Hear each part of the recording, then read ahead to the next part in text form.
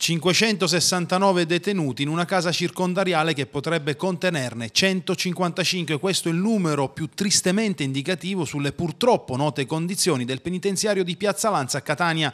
L'ispezione dell'ultimo dell'anno, una visita accurata, è stata compiuta stamane da Rita Bernardini, deputato dei Radicali Italiani, che parla senza tanti giri di parole di vera e propria illegalità. Al di là della eh, buona volontà, questo carcere come il 99% delle carceri italiane è un carcere illegale, fuori della legalità costituzionale. Quando la pressione detentiva è più del triplo, eh, le cose si rompono più facilmente, la manutenzione diventa impossibile. Questo è un carcere dove non c'è il riscaldamento, per esempio. E la gente è costretta a stare in cella vestita eh, e a dormire vestita, quindi siamo quasi alla metà del personale previsto nel 2001, quelle erano le piante organiche, quando eh, i detenuti erano molti di meno.